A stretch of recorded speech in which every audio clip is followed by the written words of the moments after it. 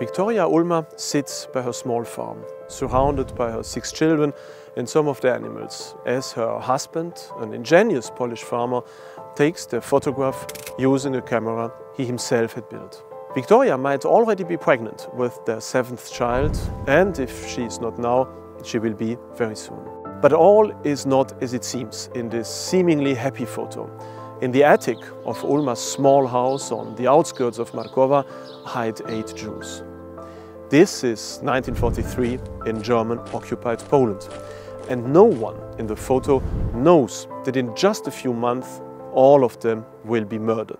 The only chance for Jews to survive was to find shelter among Poles. Poland was the only occupied country where the Germans introduced the death penalty, not only for a person helping Jews, but also the entire family. The Ulmas risked their lives and that of their children to help Jews, overcoming not only their own poverty, but also the risks associated with hiding Jews. For their courage and generosity, they would pay the ultimate price. In the early hours of the 24th of March 1944, the Ulmas farm was surrounded. The local villagers were ordered to come and watch as Joseph Ulma, his heavily pregnant wife Victoria, and their six young children were dragged out of their home alongside the eight Jews that the family had been sheltering in their attic.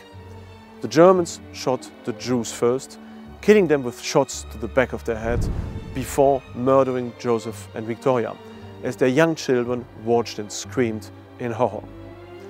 The six young Ulma children were then murdered. The Ulma family is the symbol for thousands of ordinary Poles who were not only just and righteous, these were also heroes who risked their own lives and those they loved to save Jews from German death.